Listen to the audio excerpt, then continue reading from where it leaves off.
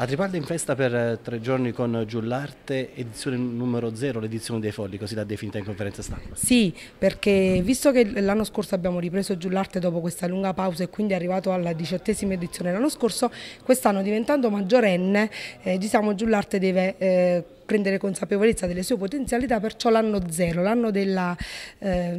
diciamo, maturità in cui ripeto, le, gli, antichi, gli, antichi, mestieri e le arti tradizionali si aprono a queste nuove forme di arte metropolitane e quindi quest'anno ci sarà proprio questo connubio che sposerà tutto il centro storico e accompagnerà la manifestazione. Quale sarà la particolarità di questa edizione? La particolarità di questa edizione rispetto agli altri anni è che c'è un tema unico, eh, che è la festa dei fogli tratto da Notre Dame de Paris e che quindi ci sarà proprio tutta l'ambientazione tra eh, stile gotico e medievale eh, e quindi il tema è unico. Gli altri anni è stato più che altro più un contenitore di eh, artisti, invece quest'anno è un vero e proprio spettacolo itinerante con un tema unico. Ci saranno, e credo che questa sarà la, la sorpresa, delle novità eh, tecnologiche. Oggi anche gli artisti di strada non sono soltanto diciamo, gli artisti classici come possono essere i funamboli, quelli a cui ci, diciamo,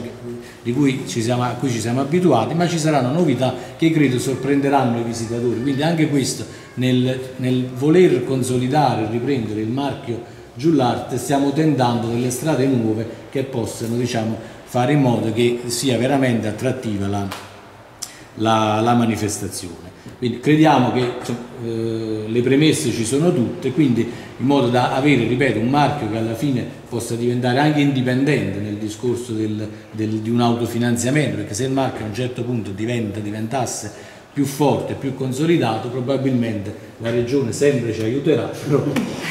però magari non deve essere necessariamente il pilastro principale del, del, diciamo, del contributo della parte economica. Noi ci occuperemo fondamentalmente eh, di, di, tre cose. Eh, la prima, l'accoglienza con l'Infopoint che potete trovare a Piazza Garibaldi, all'interno del quale potete trovare tutte diciamo, le informazioni che desiderate quanto riguarda artisti, eh, nonché ospitalità, hotel e tutte le informazioni che possono essere utili ad una persona che viene da fuori. Ci occuperemo delle, de, di quello in cui siamo più bravi, cioè nelle visite guidate. Eh, terremo aperto lo Specus Martyrum sotto la chiesa di Sant'Ippolisto, nonché la chiesa di Sant'Ippolisto, nonché diciamo, il chiostro del comune con la cappella dei confrati e, e la chiesa di Santa Maria delle Grazie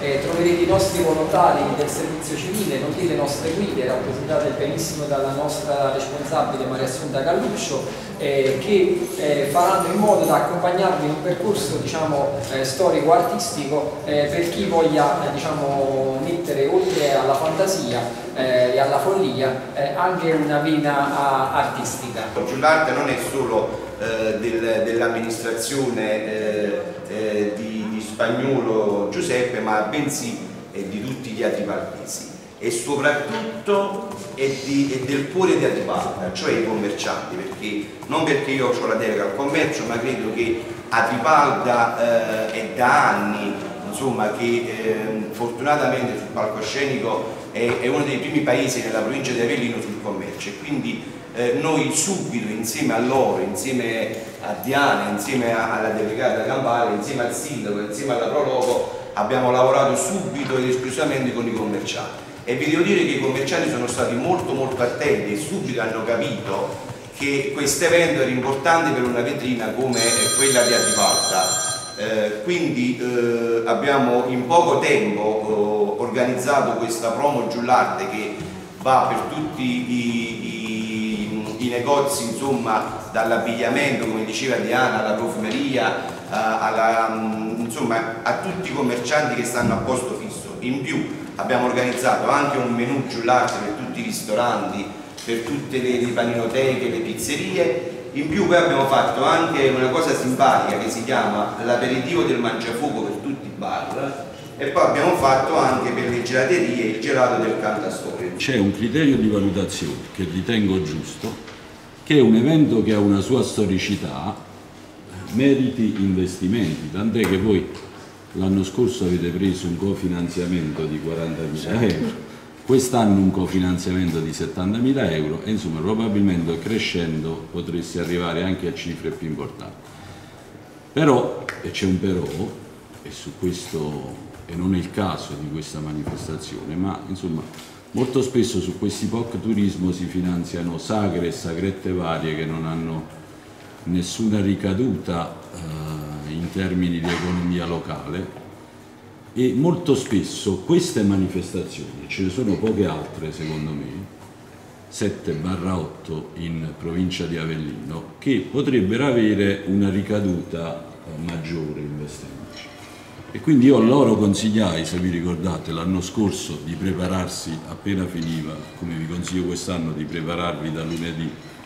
per l'anno prossimo e probabilmente l'anno prossimo potrebbe essere il caso di fare un progetto ancora più importante coinvolgendo la cosiddetta area vasta, non quella sulla quale ha investito il comune di Avellino nella precedente consigliatura che non ha nessun senso e non ha soprattutto nessuna vocazione, ma un'area vasta reale che è quella di Avellino, Ripalda, Monteforte, Mercogliano, eh, Mano Calzato, insomma un'area geografica omogenea che potrebbe quasi rappresentare non i numeri ma insomma, la valenza di una città metropolitana. Ora, se si investe in questo senso io credo che in tutti i settori si avranno eh, risultati importanti. Ovviamente se si continua avendo demandato agli enti locali la responsabilità delle scelte, ognuno a immaginare che all'interno del proprio comune deve fare il progettino nel caso di specie del turismo o deve portare il biodigestore nel caso di specie del ciclo dei rifiuti o deve fare l'area vasta che arriva al comune di Chiusano che non ha nessuna analogia col comune di Avellino diventa tutto più complesso e,